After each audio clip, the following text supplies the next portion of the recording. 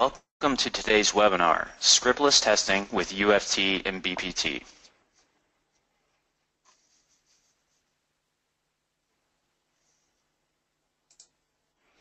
Brought to you by Hewlett-Packard Enterprise.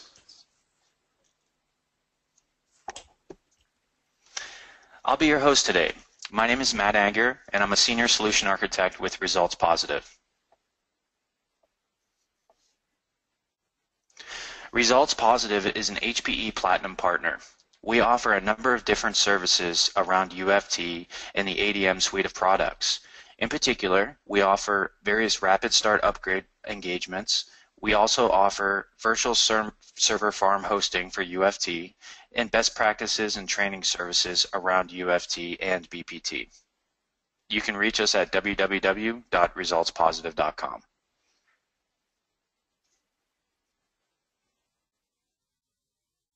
Today's speakers will be Clint Sprov and Roe Weisbert. Clint is a Senior Product Marketing Manager for HP Software Functional Testing. He has also been an independent consultant specializing in test management and automation.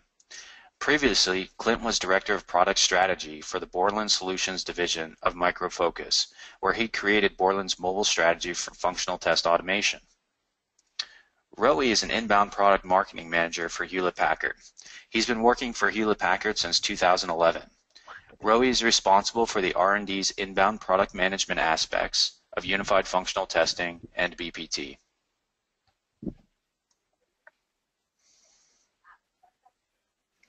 Just a few housekeeping items that I'd like to cover quickly. Today's session is live for all Vivit members. The recording will be posted in the webinar section on the Vivit website, visible for all of our members. Additionally, today's slide deck and webinar recording will be made available to you. We will send you the link via email once they are posted to the Vivit website. If you have questions as we go along, Please type and send them in the questions pane in the webinar control panel on your right-hand side.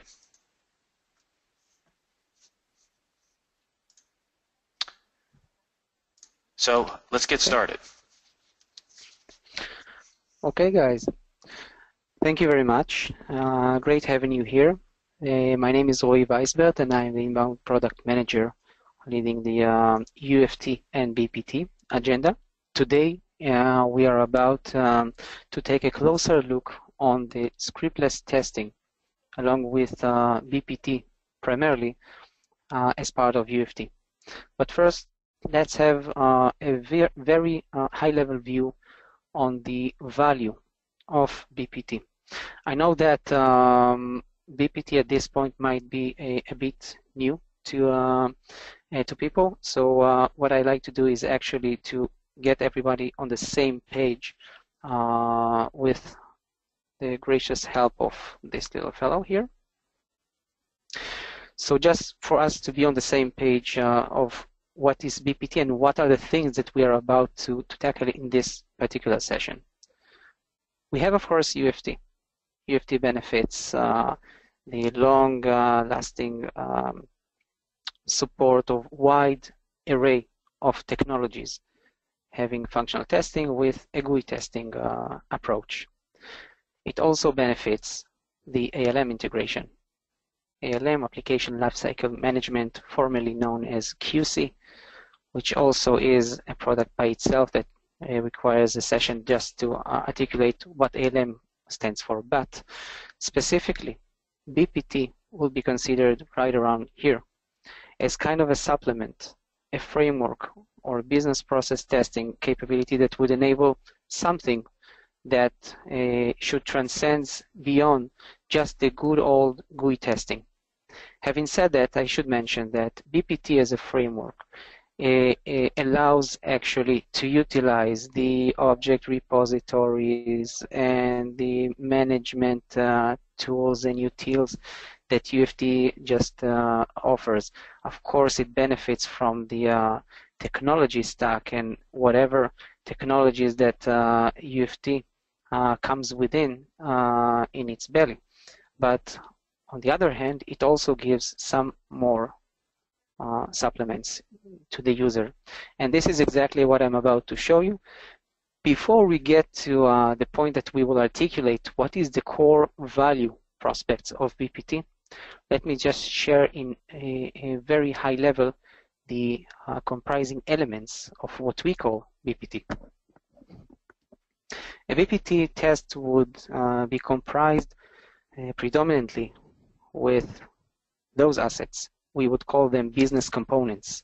Business components or BCs, as we will refer to those uh, further on this uh, session, uh, are nothing more than uh, scripted assets as a bundle of those repositories for the objects uh, as well as uh, different scripted assets that could be attached to those, different keywords and so forth, as well as um, connectivity to something that we call application area that would probably be uh, considered as the configuration container for this BC.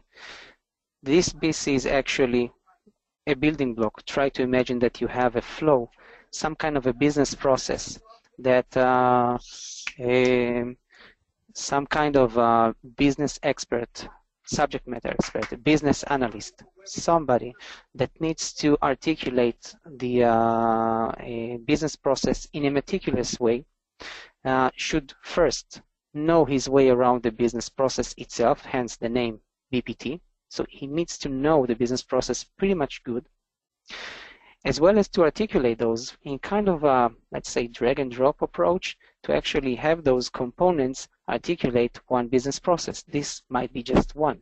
However, those ones could be reused in different business processes. Let's say that this particular one might be even the second or the third component being used in a completely different business process. So implicitly, I just stated two things. One is that you can actually break down the business process out of the knowledge, the sheer knowledge that you have on the business process. Second, you are going to reuse those in order to optimize. Uh, and uh, in addition, it allows the uh, optimization of the scripted components that you have, as well as uh, to have the maintainability of ALM. So this would be the last piece of, of the puzzle because BPT cannot actually live without ALM. All those assets that I just articulated, this one, this one, and of course the BPT test that comprises those business components, all of those actually reside and exist and totally managed by ALM. So this is a very, very good point of uh, scalability and so forth. But again, I won't uh, deep dive into the ALM perspective. So let's now just uh, return back to uh, the BPT. Sorry for that. And have a closer look at the sheer value that it offers to the user. First, as we stated, there is a component-based uh, approach. This is a framework built upon the uh, basis of uh, components or building blocks, as, as we call those. In addition, we have the uh, artifacts that uh, would streamline the creation as well as maintenance. Remember, we also talked about reuse of those assets, which is kind of headache by itself. So that would mitigate and actually optimize those. In addition, we not, not only use those as reusable components uh, out of those uh, test assets, but also gave much emphasis on data-driven approaches. We will go over the whole data-driven approach as this session uh, will go along, uh, and it has a dedicated se um, a section just for the data handling. As mentioned before, the target audience for that will be both automation engineers as well as business analysts and subject matter experts. For automation engineers who are well, who are well acquainted with UFT, GUI test, and maybe even BPT, you are about to see some things here that will be uh, pretty much uh, uh, new and to some extent would actually make the lives of the automation engineers, even the highly skilled, a bit less complex with handling their assets. On the other end of this uh, uh, statement, there's also the business analyst, somebody who is well acquainted with the business processes, who not necessarily is uh, keen to go and deep inside the VB script and so forth, but yet he needs to uh, create runnable tests something which is a runnable asset that could validate something without uh, getting to know the scripted assets uh, that uh, in the best way. And that is actually what uh, BPT uh, bridges for. Of course, we had the multiple technologies and the integration with HPALM and the Mobile Center. But at this point, I will just uh, articulate what are the five prominent um, themes that we tackled just before we will actually uh, go ahead and take a look at those uh, on a live uh, running environment. First and foremost, in order to serve the business analysts or subject matter experts, we have the scriptless uh, approach, meaning that uh, we've enabled and uh, optimized the rich keyword view in order to accommodate different needs. I will also make some demonstrations of this just for the sake of showing how easy it is to construct those keywords. In addition, there is the entire section that I mentioned before, um, with handling data. It uh, transcends far beyond just having something to, uh, to handle in your scope of your test. It goes all the way to exporting and importing those assets or even doing by dynamic binding of those. In addition, it also serves some optimization of coverage and even gets to the point of synthetic data generation for the sake of your test and even other tests uh, and remember that uh, the reusability is also a, a key uh, uh notion here in the, this whole BPT notion. So again, the data itself is something that we also put much emphasis on the reusability and uh, agility of it. In addition, BPT as a framework or any framework is, doesn't deserve its name unless it accelerates things. It should use what it has, but in a smarter way. It should uh, leverage existing assets and to construct uh, constructions that would actually make the user uh, live happily with uh, the product and make things pretty much faster. Everything like uh, creating the test, maintaining the test, even aids, just to see things, how things are changed, whether you can track changes and so forth. We will go through those uh, again. In addition, we also added a, a dedicated section called the Packaged Applications Kit. This would primarily be used at this point for SAP GUI, um, a client, and comprised of three uh, different uh, artifacts. One is a, a, smart way to do auto-componentization. Remember, we talked about the whole notion of building blocks. So somebody should fragment those. So we even went beyond that and we do that automatically. In addition, we have also the change detection and the smart reuse mechanism that actually offers for the user the capability, hey, look, you have something that you can reuse, why not uh, use that? You have the similarity rates and so forth. And again, I will go through each one of those elaborately during this session. So let me just uh, go ahead and switch my screen to a much convenient uh, one, this one and we have here UFT.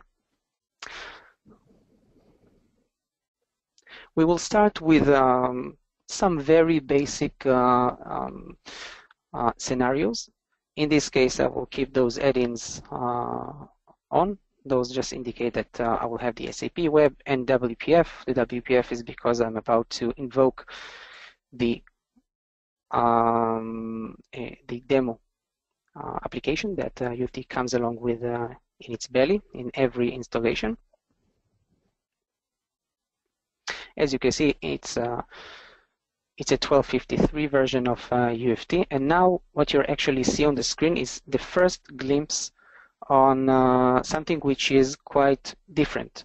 Uh, let me just roll back to the original view so you can actually see the difference. This is how UFT in its regular um, uh, default mode would look like. However, we added uh, a specific view, specific BPT view, and that comes from two uh, different perspectives. One, in order for the user to focus specifically just with BPT assets. For example, I would try to make a new test. It would only give me the business process test or business process flow. You won't have here all the, other artifacts such as GUI test somewhere here, an API test. Only dedicated things just for BPT. Even the help, everything here is uh, revolves around specific BPT assets. The second one will be uh, how to do things fast meaning that if you'd like just to start your test, you have this tile, you can just go ahead and start. And this is exactly what we are about to do. Let's start with creating a BPT test in this accelerated way. For the sake of demonstration, we have here this application. So this is exactly what uh, happens now. Let's try uh, and automate this uh, UI called HP My Flight. So I will call my uh, test flight reservation or flights, flights GUI. This, that would be the name of my test. However, remember that we talked about it, that we have the building blocks, right? So at this specific point, UFT actually will state, okay, no problem. I've created the, the test, but now would you like to give this component, this building block, a meaningful name? Of course I will. I will just call it login because that will be the first stage that might be even reused among different tests.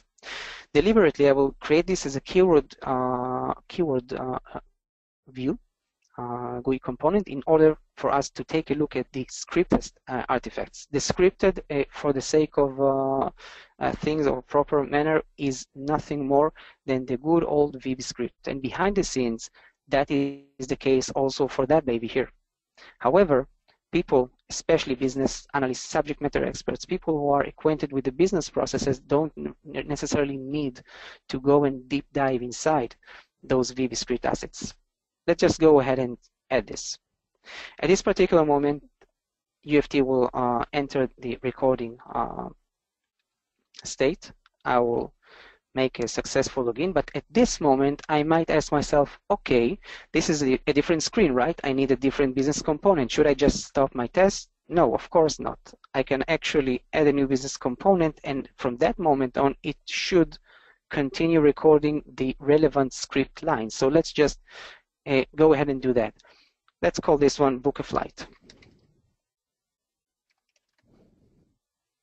As from this moment on, everything that I will do on the screen will be recorded in the scope of this newly created uh, consequent uh, um, a business component. Let's do that from Paris to Zurich, and let's have some date.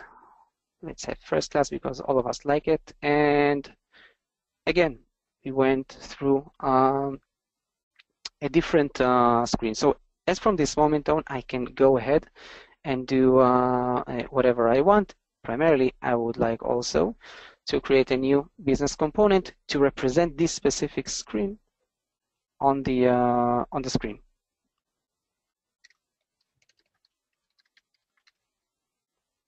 We'll call it flight selection. By the way, each one of those could be represented with a snapshot that is automatically captured. But if you're uh, if you think that you want to have something that you would like to uh, uh regard as the representative of this UI, uh, you can might as well do that, and that will be the snapshot that we will see right after the test uh, will be created. We will actually see those representing snapshots. In addition, we can also have dedicated capture mode. Try to imagine that now I'm recording something, okay? Now I recorded this selection. However, I know that at some point I would like to have this button in my application, but I really don't want it to be included in my script. So let's just uh, capture this. We'll capture area. For the sake of demonstration, we will take the back button and it's in there in there, meaning inside the object repository. There it is. As you can see, it's been added, but not to the script itself. Now we can go ahead and do the selection of the flight. So at this particular moment, I will just do a quick uh, fast forward. Let's do the order. And just for the sake of demonstration, I will even create a validation point, a standard checkpoint, and we'll uh, take it uh, in the level of, uh, let's say, this one. I would like it to deliberately being uh, uh, a failed one. It should anticipate minus one, but it would see there 88. Next time I will replay this. So once we've done that, uh, we can start the test. At this moment, the test is being created and saved to ALM. So this is actually something that is important to uh, to mention in the scope of uh, a, a, this um, flow because there is no duplication. It's there. It's already in ALM. What you see on the screen actually is just a representation of something. This something is the BPT test, but we can have um, different uh, ways of taking a look at it. For example, we can have this way to take a look at it uh, and even to handle it, the flow itself in a much convenient way. We even have the this one where we have components that we can actually drag and drop those that are already in in place somewhere in ALM and we want to drag and drop. For the sake of demonstration, we will show some other things here. For example, I uh, remember that I told you about the uh, keyword, but where is this keyword uh, language uh, appears?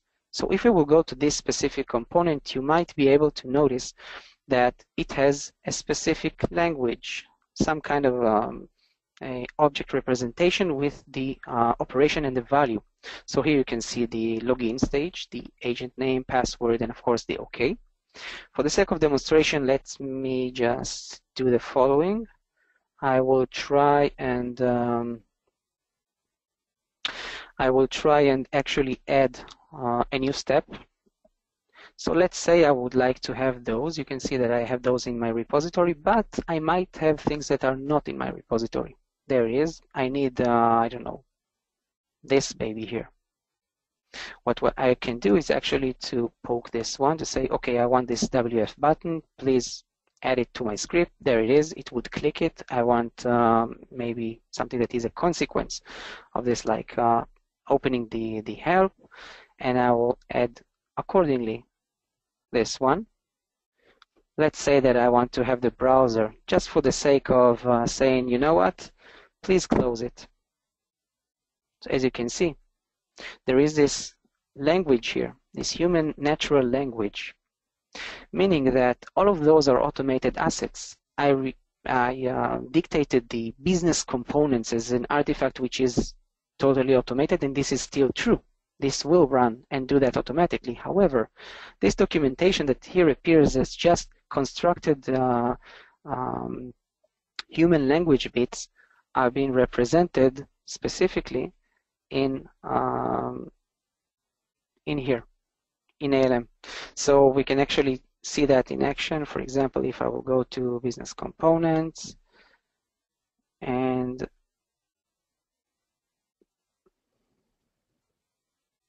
let's see where my test is. There it is. I have login here. So you can see that it has the manual implementation and surprise, you can see the steps here. Implicitly, what I just stated is that you can actually do a manual uh, running of those uh, artifacts or an automation facet. So each one of those business components actually has, of course, I'm looking at it right now, it would shout at me, but uh, you can see that it has uh, two representations, the automation and the manual implementation. So this is a very good stage of uh, articulating uh, those ones or even adding things and it can actually sync with the automation, meaning that you can go ahead and implement things that even are dictated here as a business uh, subject matter expert uh, dictation. So at this point, I guess that we can run it. Let me just uh, take a look at this and see that uh, it would run uh, as we expect. I will deliberately uh, try to uh, to invoke a failed uh, test. Okay, so let's try and have this one um, replayed. Deliberately, it should actually be stuck right around here it would open it and then it should press the OK button. So it's really, really nasty. I will stop this at, at this point and I would uh, give you the rationale behind what I just did. Uh, turns out that uh, the order is quite uh, faulty. I needed to open the button and then uh, put out this uh, browser and only then click on the OK button. How would I do that? I simply just drag and drop it, and there it is. Let's do that from the start.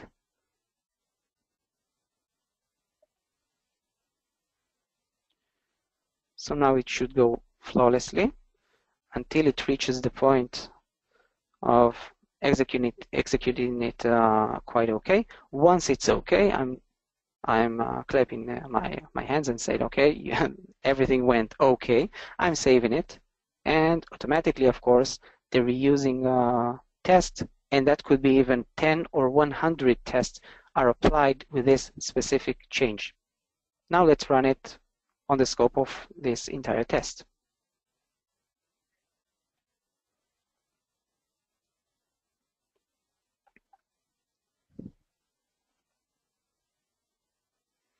So as you can see, or can see, it would start running on the very same uh, thing. It would close it and of course go ahead and do the uh, the second and the third one and right around here it would stuck for at least 20 seconds or so because as you remember I did it deliberately. It should fail on that. I want to show you how uh, a, a, failed uh, checkpoint would look like. Excellent. Of course we have the standard checkpoint uh, failed as you can see another new thing here. You can see the HTML report. I'm not sure how many of you are acquainted with it, but uh, this is the newly introduced HTML report. Of course, it will give you first and foremost the most uh, unusual thing, what actually went wrong, meaning that you have also the indication of uh, where it uh, went wrong and even the expected versus the actual one. In addition, you can go ahead and uh, parse the test flow. As you can see, it's been fragmented here to the very same basic elements. Remember, the login, book a flight, and flight selection. Here you will see everything flattened. Primarily, you also see the standard checkpoint, but you can go ahead and search things. Of course, a real-life test might be even longer. You don't really need to go and parse it through. I can just, uh, for example, to look for where exactly I actually inputted my name there. Let's, there it is. It will give all the occurrences of where uh, this string actually appeared in this flow of my test.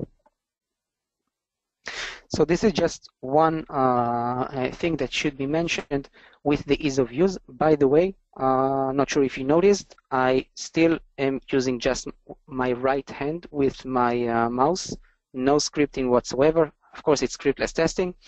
And um, I guess that at, at, this point, I should also show you uh, the uh, data handling. Because when you have a test, and this is a naive test, of course, let's try and imagine that uh, at a given moment, that you would like your test to be a little bit more versatile. Let's say that this login, I would like it uh, to be parameterized with um, parameters that I can uh, give from an outer source uh, origin. That would be the way to do that. For example, username. There it is, it happened. So it's already parameterized and attached to a parameter. There it is, it's been created with the default value that it bear uh, before. Let's do the password as well. And there you have it. Once I will do that and save all,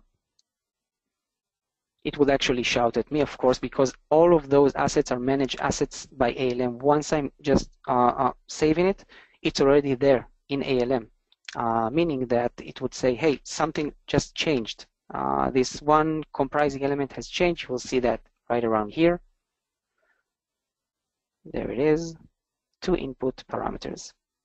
For the sake of demonstration, I will go to the next uh, component and I will do it a little bit in fast forward and do the very same operations with creating different parameterization for this second uh, component. So let's call that from, which is Paris, and to Zurich, and we will, can go ahead and uh, do the parameterization, for example, for the date or the departure date, for example, if you if we like. And maybe also the uh, class. There it is. Same story here. It shouts, and again we have four input parameters here. But what actually I'm about to show you is that you have a neat representation of that. For example, you can see this uh, in the canvas view. So you can see even those parameters that were created. There they are. All of those are being attributed to those uh, um, uh, business components. Now let's assume that I would like to have my data there it is, remember, John and the password. So let's say that I want this specific login to do two or three or whatever iterations uh, instead of just one. So the easiest way will be just to click this button and there you have it. Not sure if you're able to see it. Let me just zoom in. There it is. There is an indication of how many iterations actually uh, take place. So I can just go ahead and put here uh, my username with a non-valid password.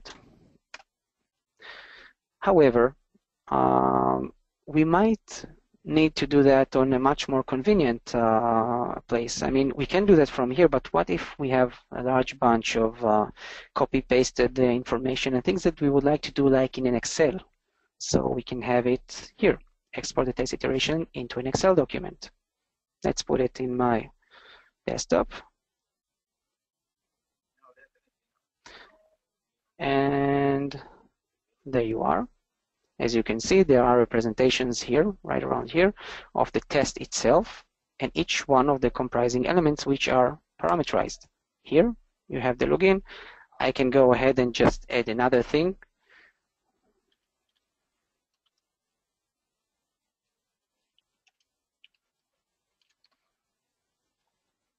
And whatever password. Once it's saved, it should preferably he also uh, be able to uh, to be imported back. Once I want to import it, it would say, "Hey, are you sure you're about to uh, override this? Is it okay?" Yes, of course. And sorry.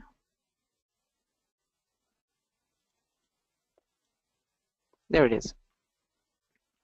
So you have it already there, meaning that once this test is ran, you will have those parameters being populated with the static data that I just mentioned uh, that I can even edit or add uh, and import back through an Excel file. However, this still doesn't complete the entire story.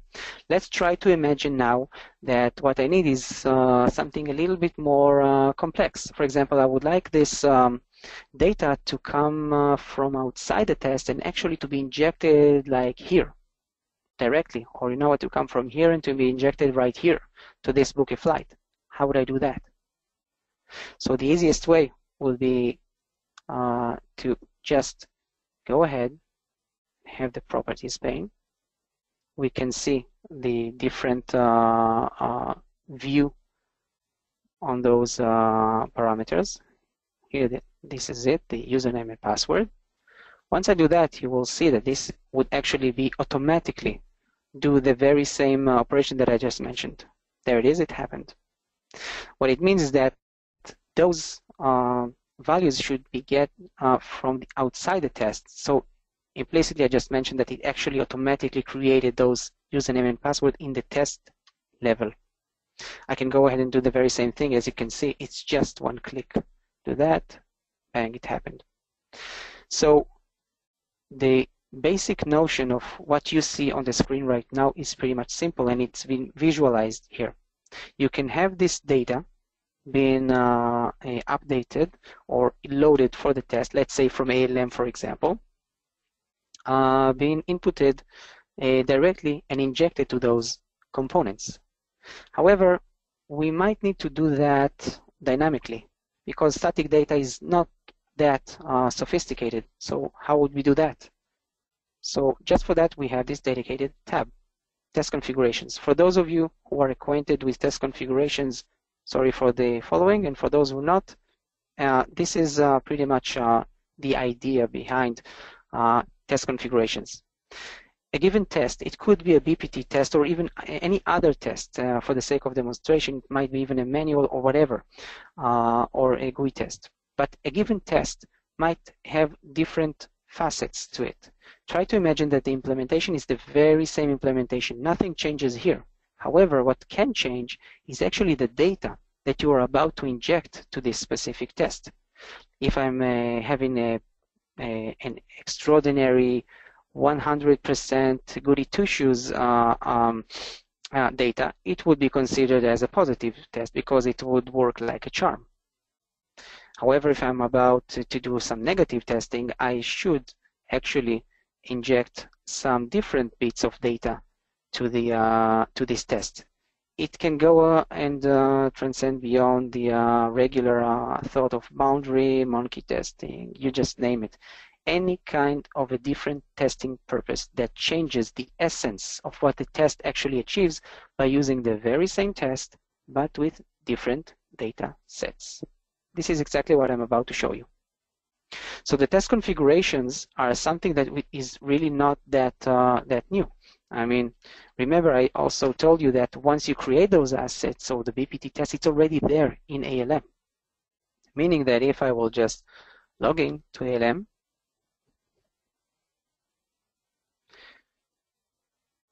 you'll be able to notice that if I have, uh, for example, the test plan, so I have, of course, my dedicated test in my, my test, it has the test configurations. This is the default one because I still haven't created any other test configuration, but let's create one. How would we do that? Pretty much the same way that we've uh, seen before. If we export this one, let's just override this. So it would create this with the newly introduced linkage of those uh, assets. You'll see that I can create a new test configuration. Up until now, it was only available inside ALM, but here you can do that at the very same place. If I do that, bang, you can see that it has the very same uh, artifact. However, as I mentioned before, we might as well also do that by ourselves. For example, this would represent one default uh, iteration of the test, but I might need few of those. So let's try to do some uh, more of those. Let's uh, give uh, it this one the password, and you know what? I would like this one to be uh, trying to do a boundary testing. So I would give it like a very, very, very long something that can overflow something, maybe just to test the boundary, I would give it uh, the very same ones here because it's don't care for me. I would also want to have another, uh, let's do that with another user, let's say. Um, that would be a perfectly okay uh, iteration on something that actually can uh, go along quite good. This is a positive testing.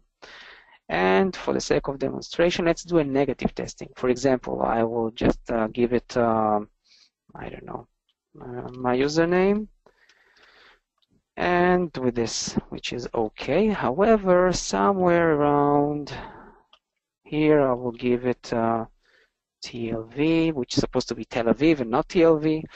And I will give it uh, even, even a non-existent uh, city. This is definitely not the name of a city and even, you know what, uh, a date which actually does not exist in real life.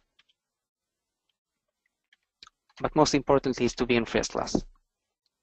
So this actually states four iterations for the same test. Remember, those artifacts will be injected directly to those to those ones. As you can see, there is some kind of a notation here. It's not the value, it's just the name of the parameter, username, password, from to date class, but the data itself should be loaded dynamically from here. Once this done, I can go ahead and return back uh, to uh, UFT and actually create. There it is. However, at this point, I would like also, um, by the way, just to see that no strings attached, I will just uh, refresh it, and you can see this is the very same uh, test configuration that I just managed to create. This is slides GUI 2. At this point, uh, somebody who is not well acquainted with it will think, okay, how will I automate it now to the uh, test parameters by name, but what? So he doesn't need to be uh, bothered by that. We just automate the actual resource columns from the Excel file itself to the test parameters names. Uh, that will be just one click away. Now let's pretend that I want this specific configuration to be a positive testing. Of course, you've seen already that I gave here some negative and boundary and whatever. So I would just dictate that I want rows, uh, I don't know, one and three, for example, to be uh, to be the ones to articulate a positive testing. However, I would like to create out of the very same uh, data source, different data sets. Now let's pretend that I want to get to the point of a negative testing. Again, same story, one click away, I can have it all here and I want the negative one. In this case, it should be just row number four. So we can just go ahead and do that for any other, I'll try to do it fast forward. Uh, any other ones that are in existence. And there you have it. And of course, that will be row number two. Of course, it's been uh, um, eh, filtered here. All of those are being created. All of those are here in ALM. All of those are being ready to be uh, executed through the test lab. It's already there. And even if you want to create to uh, run it from here, you can actually see that you have the dedicated test configuration that you can select. There it is. Those are the dynamic ones. And the static, which is a default one. But we might as well just select one of those to run it. So as you can see, it dictated the different data sets. And this is exactly what I just articulated here. However, this still doesn't complete the entire story because up until now, uh, we've just uh, did the static as well as the dynamic binding. It actually would dynamically bind for the given test configuration that we would like this test to run on. Uh, but what about uh, test optimization? Uh, let's um, suppose that we have a large number of those and each one of those might have different uh, sets of data. I mean, different types of data, like it could be John and Iran and whatever, and this could be password and a very long password, and maybe just an empty clause or, or whatever we like to, to put there. So how would we optimize it? Because it might actually bear a very, very long test or a test iteration that might span over two nights. Um, uh, for those of you who are acquainted with pairwise testing, we also uh, embraced it right here. So as you can see, we are in the very same place, still no string attached. I'm using just my right hand with uh, my uh, mouse and uh, no script up until now. I'm just opening this dialog, and this dialog would actually articulate for me what will be the uh, um, the different um, the different uh, uh, values that each one of those parameters might get. So in the in this password we have a valid password, we have something which is clearly not valid. We have something, let's say that I want to create something which is, I don't know, having this one. You know what, for security reasons, I would like also to try this one. Just to see that it does the SQL injection and, I don't know, empty clause.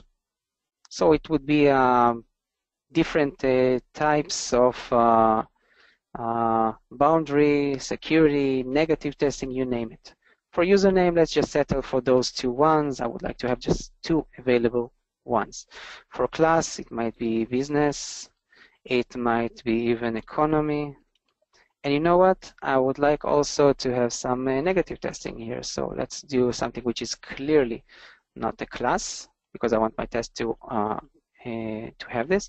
Here we have, I don't know, non-existent date and whatever, Paris, TLV, oops, TLV, New York,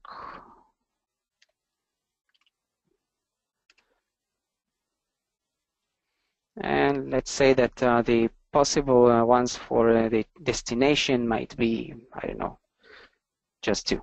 Zurich and London. So up until now, what I did is just to articulate what would be the uh, definitive uh, uh, values that I would allocate for each one of those. But now somebody should actually do a Cartesian product on all of those and actually articulate from those runnable rows, like the ones that we've seen in the Excel. Remember, it was each row was something uh, that actually uh, inputted either one of those uh, input inside my test or component. In addition, we would like also to articulate, for example, this might be regarded as uh, a happy path, meaning that it would go like a charm. It would uh, be okay. However, this one, and of course with this date uh, from Tel Aviv to Zurich, sorry, not Zurich, to London, might be regarded as an error path. So we can just go ahead and um, mark those. Now we can have the combinations.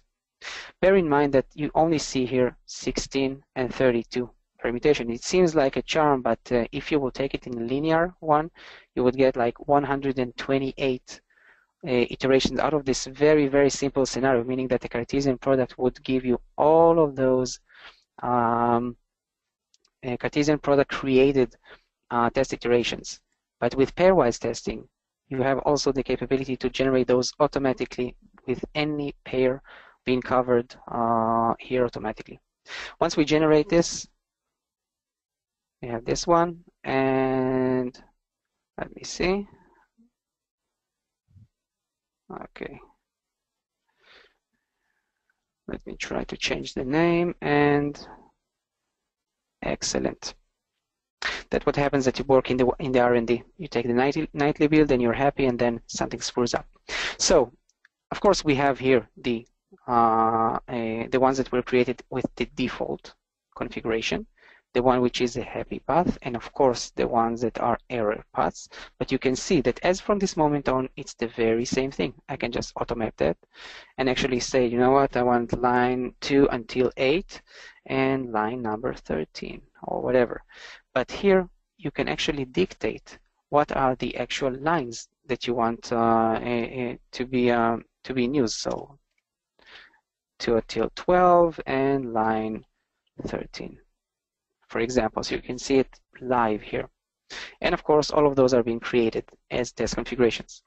Last but not least, um, up until now, you've seen that uh, I uh, actually did this articulation by writing it, but it's really, really tiresome. What if something could have done it for me? So why not using it like that? I can go ahead and do, uh, let's say I want a city. So let's take the 2 uh, um, and you know what? I will have it uh, created as a city type. I want to have like 27 or 27 uh, uh, of those. And you know what? I would like cities that they have in the second letter of their name the letter R, and in the third letter of their name the letter E. How many of those do you can you recall? It won't be fast enough like that bang, it happened. So as you can see, there is lying in the belly of UFT a lot of those, and we can actually play around with this. So if I will just put fast forward in that, we can even create dates. By the way, it can even uh, be uh, generalized to regular expressions as you saw, uh, or even uh, to be highly customized by the user himself. Let's uh, take one uh, range as well as a format. Let's create 12 of those. For example, bang, it happened. So once we do that, we can go ahead and articulate what is considered the happy path, error path, or whatever we see fit. At this moment, we will do the combination view. As you can see, 264 iterations. It seems like a lot, but if you would do that linearly by yourself, you would end up with over almost seven, uh, 17,000 uh, iterations. That would be like I don't know, a week of, uh, of a test. So you can see here the optimized coverage right around here. Once it generated, bam, it happened. It's already there. And as from this moment on, you can go ahead and manage this data to create new configurations for the sake of it, to download it, or even to send it to your peer uh, uh, who might be somewhere uh, other side of the world that can actually do the thing that I'm just doing, just doing this, getting this information, automapping it, and saying, okay, I have all the error path or whatever things that I need from here. I will take line 20 until 100, and there it is. It's here. So at this moment, uh, we are just before the uh, end of uh, the session, so I probably won't have sufficient time to uh, go over the packaged apps kit for the SAP GUI. However, I still want just to summarize. As you can see, uh, I uh, articulated the usage of the keyword, which also Baird never uh, touched uh, VB script. I mean, we just uh, clicked some clicks on the mouse and just changed things or uh, poked for different artifacts on the screen and learned those and, and so forth. In addition, we also managed to show here the level of depth that we could get into the level of data management. So we can manage our data for the tests and it's fully compliant and scalable and of course it's inside ALM. Uh, but from within UFT with something that is much, much more rapid, you can just do that faster and uh, use it. And once more, uh, uh without any touch of script, meaning that uh, up until now it's almost an hour and I only uh, made my right hand do all the things with my, my mouse, which is kind of a neat thing when you think about it. Try to imagine that uh, you can really focus on doing the actual work of automating uh, things and let other things being done for you instead of coding them or script those. So by that, that, that time, I will just uh, uh, stop for any questions because we have less than uh, seven minutes until the end of this uh, session. Um, Clint, do you have any questions uh, that you collected or Yes. Like um, Roy, that was uh, fantastic. Thank you for thank you for this wonderful demo and all the information you provided around BPT. Uh, we do have a number of questions that have uh, rolled in since the beginning of the webinar. Um, Clint has has graciously answered a lot of them through through through the messaging system here in, in GoToWebinar. However, there are a few of them that we flagged and we'd like to ask you uh, for this uh, last portion of the webinar today. Uh, the first question that comes through is um, from Elizabeth. She's asking, she says, the MyFlight demo is Windows is a Windows-based app, correct?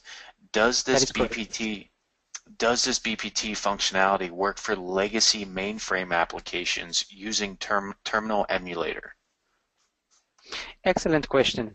So as I mentioned before, the technology stack that UFT brings along is something that BPT actually benefits from. BPT is nothing more than the framework that actually helps you to uh, accelerate the creation of your tests.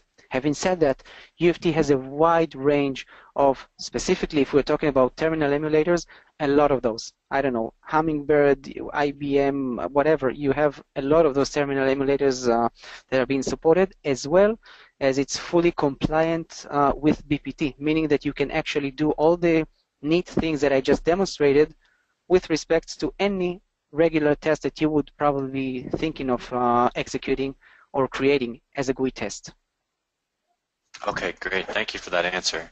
We also have another one that came in from Conrad. Uh, Conrad says, how does recording support dynamic screens? Do we have to record new components for each scenario where objects on the screen changes? Okay, so if I understand the question, the question is uh, whether we will have to record from uh, scratch when things tend to change on the application, right? Correct. Correct. Yeah. Okay. So this would actually uh, be more concerning the maintenance level, uh, meaning that you can record. Yes, you need to articulate what is the fragmentation of the business components as I uh, just um, uh, demoed. Uh, for SAP GUI and package applications kit, I'm sorry that I didn't have enough time to show that, but it would actually do that for you and would fragment those components automatically without you even need to interfere. However, once something is changed, of course, uh, at a given uh, reusable component, the best practice um, actually dictates that some of those tests that are actually using this specific component that happens to be in this UI layer that changed would be a failure or uh, to indicate that there is something that has changed there. So uh, once you uh, have this, you can take for a ride this specific component.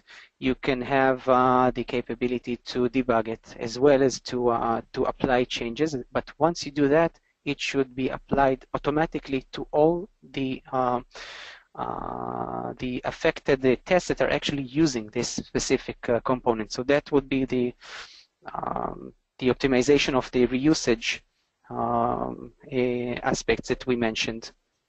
Okay. Okay. Great. Great. Thank you for that. Um, so we have two additional questions that I want to ask. Uh, they seem to be a bit more technical in nature. We only have about three to four minutes left. So this mm-hmm. first question comes from Nirmal. And Nirmal asks about what about scenarios requiring for loops, while loops, and if conditions? Excellent question.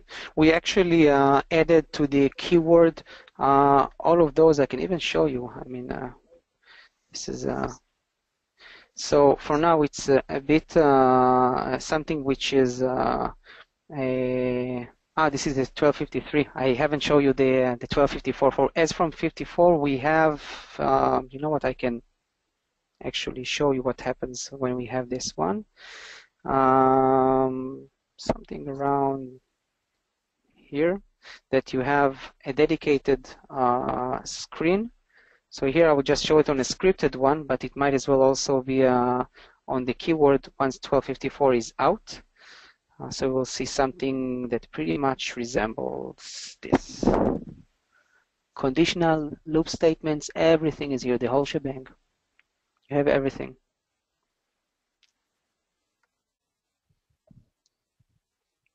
So does this answer the question? That does, that does. And uh, also followed up with a question about database integration. Um, does is there any way to integrate with different databases and test databases? Excellent question. I love those questions. So first, you have the database uh, um, a, a checkpoint, which is already in place. I mean, you have this one the database checkpoint, but you have to create those. Of course, you need to have the connection string and so forth. This is not new. I mean, this is pretty much all. We have this in GUI and everything. For the new world, if Nirmal is using, for example, SAP kind of uh, uh, UIs and have, uh, let's say, an OData service that need to poke to a, to a backend uh, database, yes, we even have this one. So you can actually test those REST APIs through the dedicated API test and even get those API activities to be components inside BPT or Great. to use those as components, which is kind of uh, um, putting it all uh, together. Great. Great, and I think I have a finale question. Uh, so before we before we close this off, and this question is sort of near and dear to my heart. Um, you know, having participated in many different SAP implementations, um, mm-hmm. we have a question that came in from Jamie, and Jamie's question is, in SAP, a sales order uh, transaction VA01, as you know, okay. you, yes, you can you can create multiple order types that may have slightly different screens. The question is, do we have to create a separate script for each order type, or can a single BPT component handle multiple order types? Excellent question. So, as we know, or not everybody knows, but VA01, for example, might be created to create a sales order or even rush order. So those are two different business processes. However, a BPT test might comprise of one of those. Uh, when we talk about those reusable components, it means that if, for example, we would use the package applications kit, it would fragment those according to the different screens and artifacts that we actually manage to click and interact uh, with uh, SAP GUI. However, when we articulate the actual test, technically we can create uh, some kind of a faceting of the test if we want, but if we don't, we can just leverage the fact that those are reusable assets, meaning those are being created um, um, and of course being handled automatically for us. Uh, so we just need to drag and drop this into different uh, types of tests and maybe the execution should choose between those and uh, based on I don't know parameters or whatever. I can think of two ways to implement that, but that would be in, in a nutshell because I'm already late and I owe you one minute. no, thank you for that, Roy. Appreciate it. Well, to everybody on the call, thank you for attending today's webinar. Um, please be sure to complete the short survey after the webinar ends and opt in to receive more information from Hewlett Packard Enterprise. And just a reminder that this webinar recording and slide deck will be posted to the Vivit website. In the next few days, you'll receive an email with those links. Thank you again, everybody, and we appreciate your time today. Cool. Thank you very much, guys. Have a great day.